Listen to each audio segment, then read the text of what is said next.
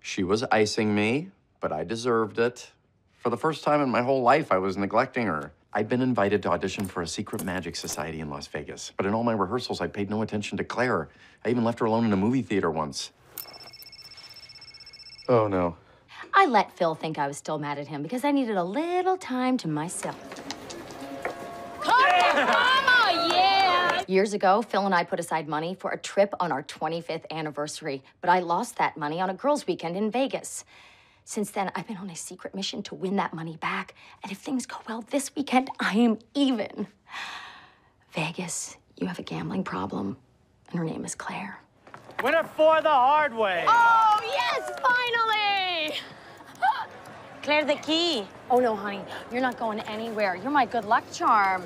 Give these a blow, beautiful.